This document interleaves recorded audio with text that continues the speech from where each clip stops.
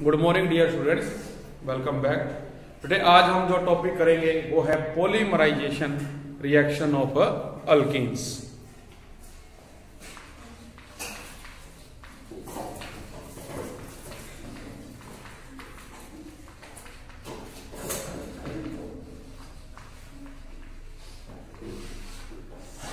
हमने अल्केन में भी बेटा ये टॉपिक किया था पॉलीमराइजेशन जिसमें ये पढ़ा था भी जब हम सेम और डिफरेंट टाइप के जो मोनोमर्स हैं, उन्हें बेटे आपस में कंबाइन करते हैं। तो उस मेथड को नाम दिया गया था पॉलीमराइजेशन का। अब हमने क्या करना है? अल्कीन के अंदर ऐसा करना है। तो देखो, इसकी जो डेफिनेशन बेटा रहेगी a process in which a large number of same और different molecules of a compound combine जिनको हम कंबाइन करेंगे और वो एक बिगर मोलिकुल बनाते हैं, इसको बेटा पॉलीमर कहा जाता है। और ये जिस मेथड से कंबाइन है, उसे हम नाम देते हैं पॉलीमराइजेशन तो हमारी डेली लाइफ में भी ऐसे बहुत से पॉलीमर्स हैं, जिनका यूज़ हम करते हैं। तो देखिए, सबसे पहले अगर हम बात करें तो अपने पास रहेगा पॉलीमराइजेशन ऑफ़ इथीन। इथीन की क्या करनी है? बेटा पॉलीमराइजेशन करनी है। इसमें क्या होता है? ये आपके पास है C H two double bond C H two ये एक मोलिक्यूल है इथीन का, जिसको हम मोनोमर भी नाम देते हैं। अब इसके जैसे बेटे हमने एन मोनोमर्स लेने हैं। और इन एन मोनोमर्स की क्या की जाएगी? पॉलीमराइजेशन की जाएगी। तो इसमें देखो क्या होता है, आप देख रहे हैं भी ये जो इलेक्ट्रॉन है, ये शेयरिंग कर रहे हैं। तो होमोलिसिस होने पे क्या करेंगे हम? होमोलिसिस ये हाफ़ एरो से इधर हाफ़ एरो से इधर आ रहे हैं। और क्या बनेगा? Single bond C H two single bond C H two इस कार्बन का एक इलेक्ट्रॉन जो ये आया है, हमने यहाँ रिप्रेजेंट किया। एक बेटा ये यहाँ रिप्रेजेंट किया और कितने हैं ये? एन मोनोमर्स है। तो पॉलीमराइजेशन करने पे इस प्रकार के एन मोनोमर आपस में कंबाइंड होंगे। तो जो चेन है, वो लार्ज बनती है। तो उसको हम बेटा इस तरह से रिप्रेजेंट करते हैं। इस तरह के एन मोनोमर आपस में जुड़ेंगे। तो क्या बनता है ये? ये बनेगा पॉलीथीन इथीन का मोनोमर जो इथीन है पॉलीमराइजेशन करने पे वो पोलोथीन बनाता है जो आप डेली लाइफ में यूज़ करते हैं। और ये जो पोलोथीन है बेटा, ये अगेन टू टाइप्स की होती है। Polythene classification of polythene first है H D P L D P that is low density polythene और सेकंड बेटा इसमें आता है H D P high density polythene आप देखते हैं भी अपनी डेली लाइफ में मार्केट से मान लीजिए आप कोई सामान खरीद रहे हैं तो जो दुकान वाले शॉप वाले, वो जो सामान अपने को डाल के देते हैं तो आप देखिए, जब आप जाते हैं सब्ज़ियाँ लेने तो वो जो पोलोथीन है बेटे, उसकी जो थिकनेस है, वो कम होती है। जबकि आप एक शोरूम पे जाते हैं कपड़े लेने, जो पोलोथीन वो देते हैं, उसकी थिकनेस क्या होती है? हाई होती है। और ये देखिएगा भी जो लो डेंसिटी पोलोथीन है, उसका जो कलर है, वो भी क्या होगा? लाइट होगा। जबकि हाई डेंसिटी पोलोथीन का जो कलर है, वो डार्क होता है। ठीक है जी? तो इसमें हम ज़्यादा वज़न डाल सकते हैं जबकि इसके अंदर हम नहीं डाल सकते। तो ये हमारे पास क्या पोलोथीन है बेटा। इसी प्रकार से आप लोग देखें बेटे, भी हम क्या देखते हैं? भी जो वायर है, बिजली की जो तार है, उसके ऊपर एक रबड़ चढ़ी हुई होती है। उसको कहते हैं पीवीसी। ठीक है? तो वो कैसे बनती है देखो, अपने पास है पोली विनाइल क्लोराइड ये बनाना है हमें पीवीसी तो ये कैसे बनेगा? इसके लिए जो मोनोमर है, वो बेटे लिया जाता है C H two double bond C H C L इसको नाम दिया गया है विनाइल क्लोराइड और इसके एन मोनोमर हमने लेने हैं। क्या करोगे? पोलीमराइजेशन तो ये इधर आएगा, ये इस पे आएगा अपने पास मिलेगा C H two single bond C H two sorry C H और यहाँ क्या होगा? सी एल और इस तरह के कितने हैं? एन तो क्या बन गया ये? ये बन गया पीवीसी इसी तरह एक मैंने आप लोग यूज़ करते हो पोली टेट्रा फ्लोरो क्या कहा जाएगा? पोली टेट्रा फ्लोरो इथाइलिन। इसको दूसरा नाम देते हैं टेफ्लो, ठीक है?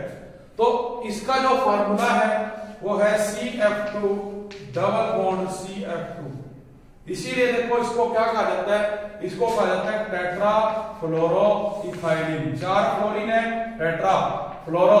दो कार्बन है, इथाइलिन। तो इसके भी एन मोनोमर लेते हैं पॉलीमराइजेशन बेटे करोगे, ये इधर आया, ये इधर आया। क्या बना? C F two single bond C F two ये सिंगल ये सिंगल तो ये एन क्या बन गया बेटे? पी टी एफ़ ई जिसको टेफ्लॉन भी कहा जाता है, जो नॉन स्टिक टेंसाइल्स है। उनके अंदर की जाती है कोटिंग आप खाना बनाते हो, जो नॉन स्टिक बर्तन है उनमें खाना चिपकता नहीं है बेटे। तो उसमें जो कोटिंग की हुई होती है, वो इसी की होती है। ठीक है? सेम इसी तरह से अपने पास क्या होता है बेटे? जो हमारा बिजली वाला बोर्ड होता है वॉल के ऊपर, उसके जो बटन होते हैं, वो किसके बने होते हैं? वो बने होते हैं बेटे बैकेलाइट के। बैकेलाइट और ये बनाने के लिए किसका यूज़ किया जाता है? फिनोल और formaldehyde H C H double bond को। तो इस तरह की इन दोनों को जोड़ेंगे पॉलीमराइजेशन करेंगे तो अपने पास क्या होगा? बैकेलाइट बनेगा। हम क्या देख रहे हैं? भी अब ये जो पॉलीमर है पॉलिथीन में जो मोनोमर था, क्या था? इथीन पॉलीविनाइल क्लोराइड में मोनोमर क्या था? विनाइल क्लोराइड जो ये टेफ्लोन है, इसमें मोनोमर क्या है? टेट्राफ्लोरोइथाइलिन बैकेलाइट के जो मोनोमर है, फिनोल एंड फॉर्मेल्डिहाइड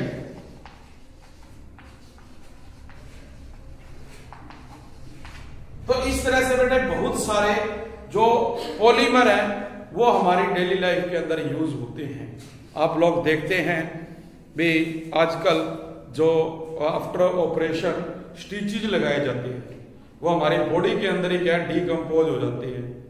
तो उसके अंदर भी जो पॉलीमर है, जो वो स्टिचेस के लिए थ्रेड का यूज़ किया जाता है, वो इसी के काम आता है।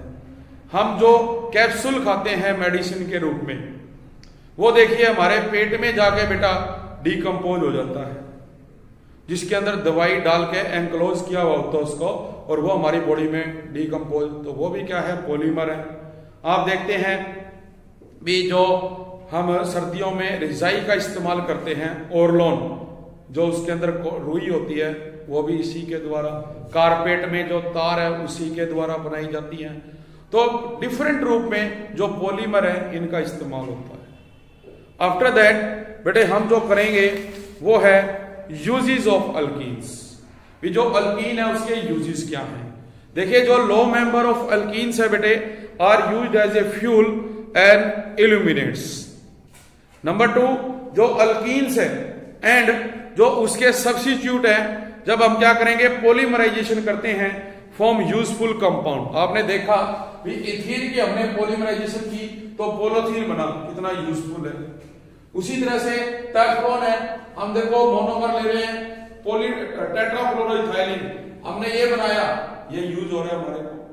बटन यूज़ हो रहे हैं बैकेलाइट से बने हुए।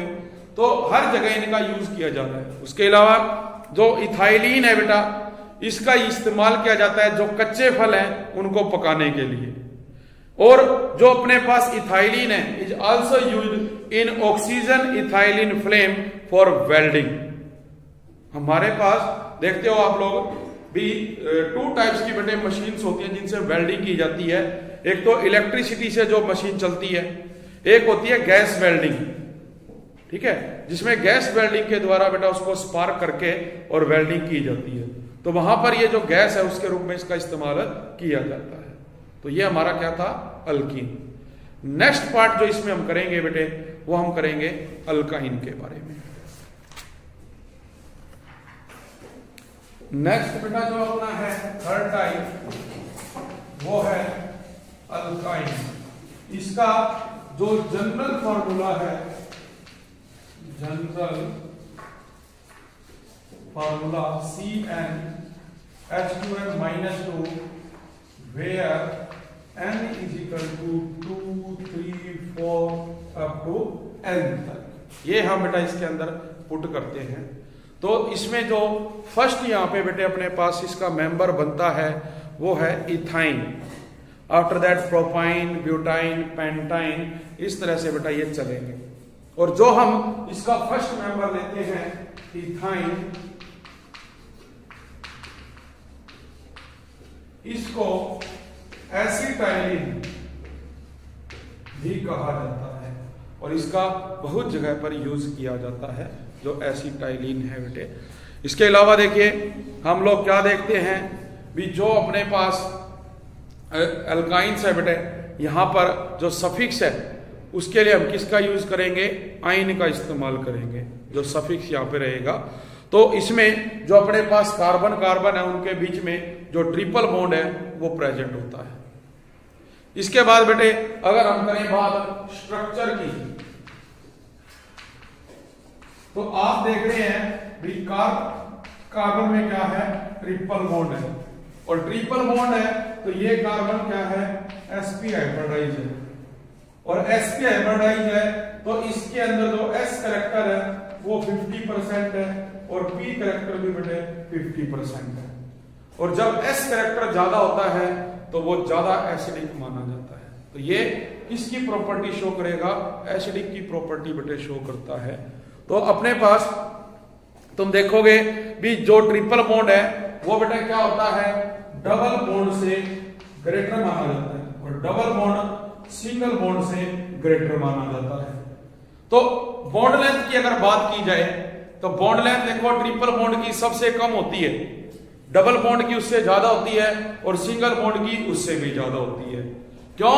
क्योंकि ट्रिपल बॉन्ड में जो कार्बन कार्बन एटम है, वो एक दूसरे के बहुत क्लोज होते हैं। फिर जो डबल बॉन्ड है, उसमें वो दूर होते हैं, सिंगल बॉन्ड में और भी दूर चले जाते हैं। तो हमें इसके अंदर इसको देखना है। जो एंगल इसमें बनेगा, वो बेटे 180 डिग्री का बनता है। क्योंकि आप देखते हो, भी जो sp3 है, उसमें कहते हैं 109 डिग्री 28 मिनट का बनता है। जो sp2 है, उसमें हम कहते हैं 120 डिग्री का। जबकि sp में बेटे 180 डिग्री का जो एंगल है, वो आपका अपने होगा। फिर बात की जाए, इसके अंदर आईयूपीएससी नेम की। तो आईयूपीएससी नेम में आपके पास क्या होगा? वर्ड रूट प्लस जो सेकेंडरी वो प्राइमरी सफिक्स है, उसके केस में जो आइन है, हम वो बेटा इसके अंदर लेंगे। तो आप लोग सिंपल जैसे देखते हो, भी अपने पास है H C triple bond C H दो कार्बन है इथ ट्रिपल बॉन्ड है आइन। जबकि इसका जो कॉमन नेम है, वो है एसिटाइलिन इसी तरह से आप लेते हो C S three C triple bond C H ये बेटे बनेगा प्रोप आई ठीक है? और हम क्या देख रहे हैं भी, कोई मान लो आपके पास एक ऐसी चेन है, जिसके अंदर आपको साइड चेन भी दी गई है। सॉरी तो उस साइड चेन में अगर ट्रिपल बॉन्ड प्रेजेंट है तो हमें उसे क्या है? पेरेंट चेन के रूप में लेना है। ये हमने पहले रूल किए हुए हैं। आप क्या करते हो? मान लो, आप एक चेन सिलेक्ट कर लेते हो, जबकि जो सब्सिचुएट है, उसमें ट्रिपल बॉन्ड है तो आपका जो नेम है, वो गलत माना जाएगा। तो ये चीज़ हमने याद रखनी है। मतलब जो अपने पास नेमिंग है, वो कहाँ से शुरू करनी है? ट्रिपल बॉन्ड से। कुछ ऐसा भी हो सकता है भी आपको जो एग्ज़ाम्पल दिया गया है, जैसे ये दे रखा है C S three C H double bond C H ये क्या बेटा सी और यहाँ क्या आगा ट्रिपल बॉन्ड तो इन दैट केस आप देखते हो कि दो बॉन्ड है डबल भी है और ट्रिपल भी है तो नंबरिंग तो देखो, हम कहाँ से लेंगे? ट्रिपल से. जबकि नाम जब लिखेंगे तो अल्फाबेटिकली इन पहले आता है तो पेंट टू इन और वन पे क्या है? आइन इस तरह से बेटा इसका नाम लिखा जाएगा. ये टू पे क्या था? सॉरी थ्री पे. थ्री पे क्या है? ट्रिपल डबल बॉन्ड तो ये क्या आएगा अपना पेंट थ्री इन ई हटा के वन पे क्या है? ट्रिपल बॉन्ड आइन लग जाएगा तो ये चीज़ बेटा इसके अंदर बनेगी जो अपने को दी गई है। आइसोमेरिज्म की अगर बात की जाए तो आइसोमेरिज्म में आप लोग देखते हैं कि हमने चेन आइसोमेरिज्म किया था। जो स्टेट चेन होती है ब्रांच चेन होती है। इसी प्रकार से पोजीशन आइसोमेरिज्म है। पोजीशन आइसोमेरिज्म में क्या है बेटा? तुम लेते हो C S three C H two C H C triple bond C H तो यहाँ तो आप देख रहे हो भी जो फ़र्स्ट कार्बन है, वो ट्रिपल बॉन्ड बना रहा है। अगर इसी को हम चेंज करें तो ये हो जाएगा C S three C triple bond C C S three तो देखो ये सेकंड पोजीशन पे यहाँ पे आ गया। तो पोजीशन चेंज होगी उसकी। तो ये पोजीशन आइसोमेरिज्म कहलाएगा, जो कि अपने को दिया है। फ़ंक्शन आइसोमेरिज्म है बेटा। इसमें बताया गया है भी जो अल्काइंस हैं, ये आइसोमेरिक होते हैं विद डाईन्स इसमें अगर आपके पास दो डबल बॉन्ड या दो ट्रिपल बॉन्ड है तो हमारे पास क्या लिखा जाएगा इसको? डाई इन या डाई आइन लिखा जाएगा। तो इसके एग्ज़ाम्पल भी आप लोगों को दिए गए हैं। लास्ट आ जाता है रिंग चेन आइसोमेरिज्म इसमें बताते हैं, भी जो मेंबर ऑफ़ द अल्काइंस है ये कहते हैं involve in ring chain isomer with cyclo alkenes क्या बनाएँगे? साइक्लो अल्कीन्स तो इसमें आपके पास जैसे स्ट्रक्चर होगा, ये अपने पास एक स्ट्रक्चर है। क्या है बेटा? साइक्लो और इसके अंदर ये क्लोज है, इसलिए साइक्लो तीन है कार्बन प्रोप लेकिन डबल बॉन्ड है तो क्या बनेगा? इन बनेगा। तो क्या नाम देंगे इसको? हम साइक्लो प्रोपीन नाम देंगे। तो ये बेटा इसके अंदर क्या रहेंगे? रिंग चेन आइसोमेरिज्म रहेंगे। लास्ट पॉइंट इसके अंदर जो आता है, वो है क्लासिफिकेशन ऑफ़ अल्काइंस तो जो क्लासिफिकेशन ऑफ़ अल्काइन है बेटा क्लासिफिकेशन ओ अल्काइन इसके अंदर देखिए क्या होगा, भी आपके पास जो अल्काइंस है बेटा, वो टू टाइप से हो सकता है। हम देख रहे हैं इसमें क्या है टर्मिनल पोजीशन पे ट्रिपल बॉन्ड प्रेजेंट है। और यहाँ पे क्या है, जब ये बीच में आ गया तो ये नॉन टर्मिनल हो गया। भी हमने जो ट्रिपल बॉन्ड देखा, एक तो यहाँ पे है टर्मिनल पोजीशन पे, और एक हो गया नॉन टर्मिनल तो क्लासिफिकेशन में क्या होगा एक तो हमारे पास जो अल्काइन है, वो टर्मिनल हो गया, और एक अल्काइन कैसा हो गया? नॉन टर्मिनल तो ये चीज़ इसने देखो अपने को दी है भी, जो टर्मिनल पोजीशन पे है, उसका नाम तो तुम देख ही रहे हो बेटे हमने यहाँ पे जो लिया हुआ जैसे ये है। इसमें क्या आएगा? ब्रूट वन आइन जबकि जब नॉन टर्मिनल पे जाओगे तो क्या बनेगा? ब्रूट टू आइन ये चीज़ बेटे इसने दे रखी है। और इसके अलावा बताते हैं अभी जो टर्मिनल पोजीशन पे बेटे ट्रिपल बॉन्ड है, वहाँ से हम अगर हाइड्रोजन को लेफ़्ट आउट करें तो कार्बन क्या करता है? नेगेटिव चार्ज और नेगेटिव चार्ज कर कैरी करके वो अल्केलाइड या एसिटाइलाइड के अंदर चेंज हो जाता है। मतलब ये चीज़ दे रखी है C S three C triple bond C H तो ये यहाँ पे टर्मिनल पोजीशन पे ट्रिपल है, ये इसको दे के जाएगा तो क्या बनेगा? C S three C triple bond C minus तो इसको क्या कहा जाता है? अल्के लाइट और एसिडी लाइट ये बेटे इसको नाम दिया जाता है। तो ये क्लासिफिकेशन रहेगी। तो ये था हमारा आज का टॉपिक नेक्स्ट करेंगे कल. Thank you very much